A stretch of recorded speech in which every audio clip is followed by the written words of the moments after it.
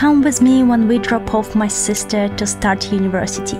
We met her at the airport and she had so many suitcases and our car was full so it was really difficult to pack everything in. Then we drove to Liverpool and spent the night in a hotel to get some rest and in the morning we got some coffee and drove to Lancaster. We tried to hype her up for university, singing along and having a fun ride. We arrived to Lancaster to see a lot of people welcoming us, to see the campus.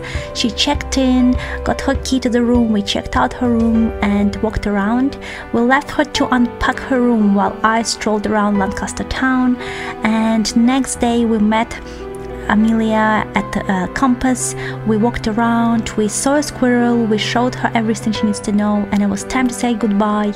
It was really, really sad for me to say goodbye, but I think my sister was happy to get rid of me and start her university life.